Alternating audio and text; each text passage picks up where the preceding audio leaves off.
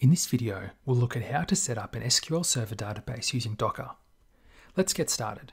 Here are the high-level steps we need to do. First, we download the Docker application. Next, we set up an account on Docker Hub. Then, we run Docker and download the SQL Server image. Then, we run the SQL Server image. Finally, we connect to the database and run some SQL. This video is demonstrated on a Mac, but it should work in a similar way on Windows. To get started, we need to download the Docker application. This is freely available from the Docker website at www.docker.com. Once the website is loaded, click on Get Started. On the Get Started page, there are several options. Click on Docker Desktop. The other two options, Docker Hub and Play with Docker, are not needed for our process. Select the right version for your computer, which is either of the two Mac versions or a Windows version. The Docker setup file will then begin downloading. It's about 580 megabytes, which could take a few minutes to download. Once the download is complete, install it. This can be done by opening the file on macOS and dragging it to the Applications folder or following the installation steps on Windows. It takes a couple of minutes to install. Once it's installed, you can run it. This will cause the Docker service to start. I believe you can also run it from the command line or from elsewhere in Mac like in the Applications folder, but this is the approach that has worked for me and will hopefully work for you too. Now we've got Docker running, it's time to get our database files. The files that Docker uses to run applications are called images, which are a pre-built collection of files. These images are available on a website called Docker Hub. There are a whole range of images there, but the one we're looking for is for SQL Server. So we'll need to visit the Docker Hub website, set up an account, find the right image, and then start using it. Let's see how we can do that. First, visit the Docker Hub website at hub.docker.com. You'll need an account to access the Docker images, so click on the Sign Up button. Enter your details on the Sign Up page. Remember the password you enter here as you'll need it later. The next page is the Choose Your Plan page. There are a couple of options, but for now you can select the free plan. This is enough for our purposes. Follow the steps to verify your email address. You'll now have an account on Docker Hub. Now we've logged into Docker Hub, it's time to find the image for the SQL Server database. We're going to get the URL for the image and then use this URL as part of a command we'll run on the command line. To find the image, enter the term SQL Server into the search bar at the top of the page. We enter this because there are a range of Microsoft and SQL images, and we only want the database. Click on Microsoft SQL Server, and you'll be taken to this page. At the moment, there are both 2017 and 2019 versions available. In this demo, we'll use SQL Server 2017, but you can just as easily use SQL Server 2019. If you scroll down a little, you can see a few sample commands under the How to use this image section. Copy the command from the first example here, which is the CU8 version of SQL Server 2017. There are a few things to note in this command. The dash E stands for environment flags, and there are a couple of those on this command. The first one allows Docker to accept the EULA or end user license agreement. The second one will set the password for the built-in SA account. You can change this password before you run it, which we'll see shortly. The dash P indicates the port numbers. This means that port 1433 is used both inside the container and outside the container for us to connect to the database. The dash D means detached mode, which means the container runs in the background and we can use our terminal for other commands. The final part is the path to the image on Docker Hub, which will be downloaded. Now copy the command here that you want to use. Next, we need to open a command line or terminal. I'll open the terminal app as I'm on a Mac, but I believe the command line on Windows will work in the same way. Once the terminal app is open, we can start the process of getting our Docker image.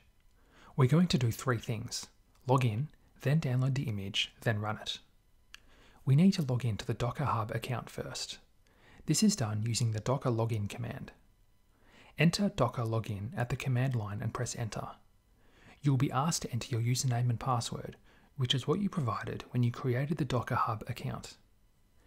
Now we've logged in, we can download the image.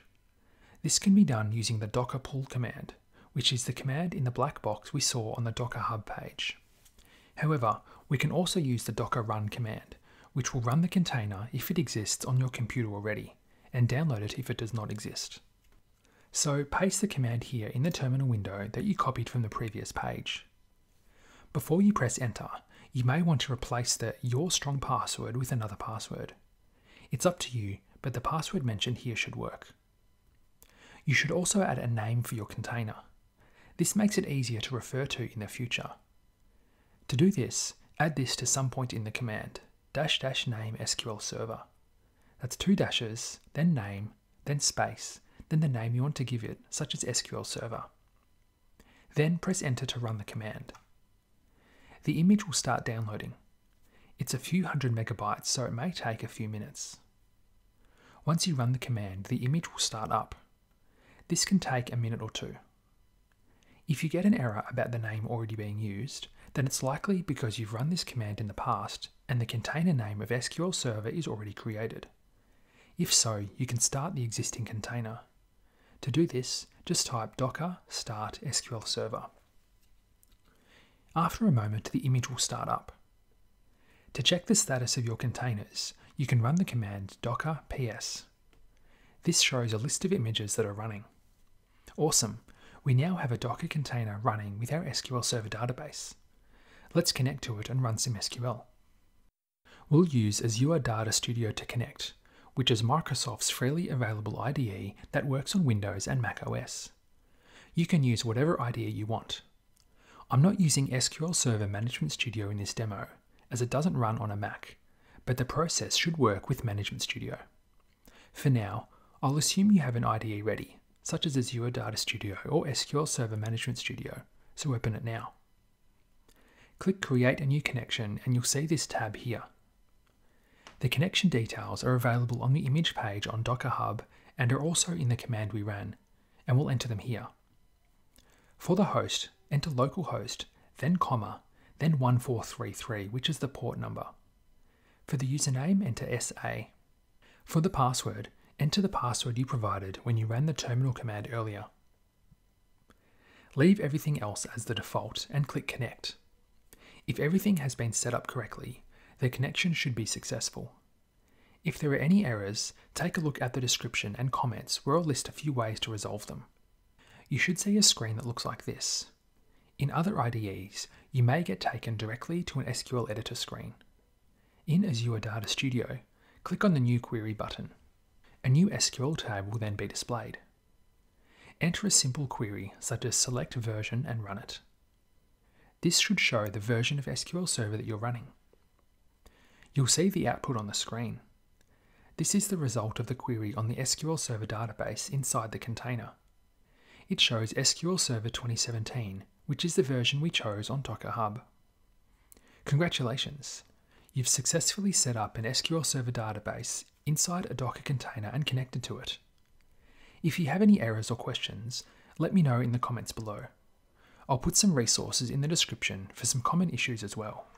To stop the database, you can run the docker stop command. Go back to the terminal and enter docker stop SQL server, where SQL server is the name of your container. This will stop the container and the SQL Server database. To start it again, use the docker run or docker start command we saw earlier. That brings us to the end of this tutorial. I'll create some other videos to cover things like persisting data and automatically running scripts. If you learned something new from this video, make sure to subscribe to my channel. If you want to learn more about database design and development, visit databasestar.com. That's where I share my best database related content. Which part of this Docker tutorial was the most helpful for you? Was it the command to actually run the container? Or the steps to connect to the database using your IDE? Or something else? Thanks for watching.